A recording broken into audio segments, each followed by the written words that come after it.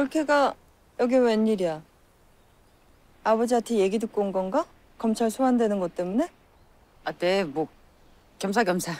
근데 어쩌나 한 발 늦었네. 나도 올케한테 도움이 좀 돼볼까 해서 왔는데 관장이 이미 무슨 낌새를 챘는지 아침에 미국으로 출장을 갔다더라고. 그래요. 근데 올케, 내가 좀 이상한 얘기를 들었네. 올케가 사고 당했던 그날 그림을 경매로 샀거든.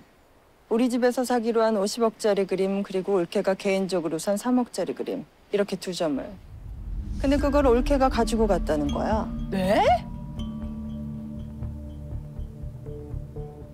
분명히 사고 당할 때는 갖고 있지도 않았고 중간에 전달받은 사람도 없는데 올케가 관장한테 그랬대. 그림을 자기한테 갖다 달라고. 기억 잃기 전에 그 그림을 어떻게 한 걸까? 뭘 어떻게 하려고 했던 거야? 사고 당하기 전에.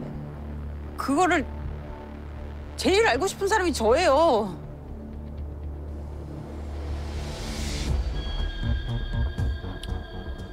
얼른 기억 찾아야 되겠다, 올케. 무슨 착오가 있었든지 아니면 올케가 어디다 잘 놔뒀겠지.